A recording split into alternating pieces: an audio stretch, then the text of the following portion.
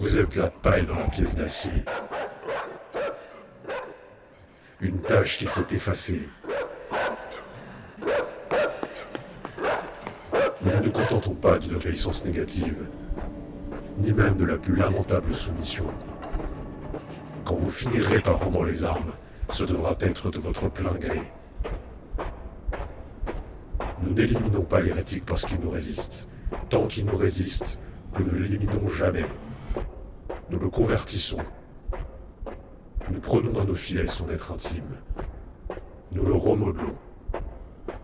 Nous brûlons tout le mal qui est en lui, toutes ses illusions.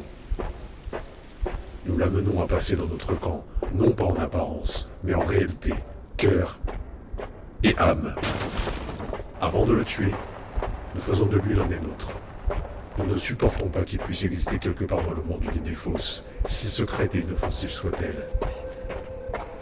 Nous ne pouvons tolérer aucune déviance, même à l'instant de la mort.